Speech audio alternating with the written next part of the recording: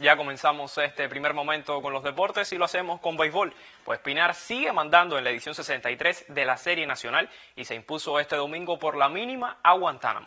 Lázaro Emilio Blanco batió de 3-2 y apoyó el triunfo pinareño 5 por 4. El reincorporado lanzador Raudel Lazo se llevó su primer éxito y en apenas su segunda salida. Las Tunas venció Industriales 10 por 2 con Leandro Cañada ganando su cuarto juego y Jordanis Alarcón impulsando cuatro. También su hermano Giovanni tuvo protagonismo, pues se convirtió en el primero en llegar a 100 hits esta campaña. Granma se impuso a la isla 8 por 2 con la séptima victoria consecutiva de los alazanes y séptima sonrisa de Junior Castillo desde el montículo. En toda la subserie, los alazanes fabricaron 59 carreras a los piratas. Los cocodrilos mordieron a los cachorros de Holguín 12 por 4 con destaque para Luis Ángel Sánchez de 5-3 con 3 impulsadas y Brian Viciedo logró su primer éxito en nuestros campeonatos domésticos. Dastiel Duquesne, con su octavo triunfo y número 100 de por vida, guió a Ciego de Ávila 5 por 1 sobre Cienfuegos. Los Gallos vencieron a los Toros de Camagüey 9 por 5 con el veterano de mil campañas Frederic Cepeda de 4-2 con jonrón y 4 impulsadas.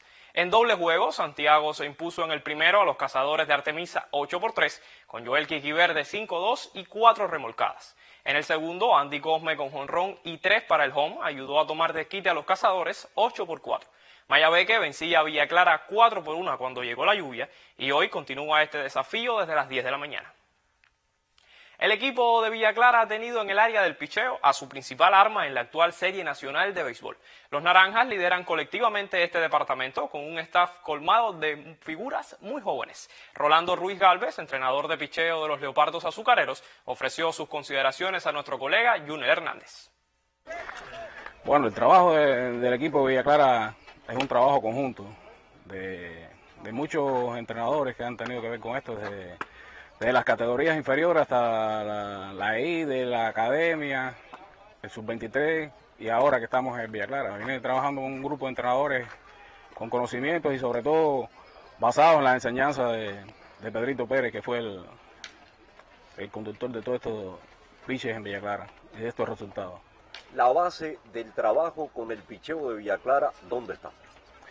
La base del picheo de Villa Clara está en, en tratar de de que sea un picheo colectivo, que, se, que esté sin grandes figuras, pero que trabaje en, conjunto ahí, eh, hacer el trabajo que le toca a cada cual ahí.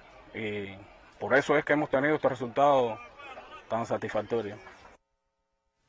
Cambiamos a la lucha, pues el campeón olímpico de lucha grecorromana, el cubano Luis Horta, obtuvo la medalla de oro en los 67 kilogramos en el Ranking Series de Budapest, Hungría.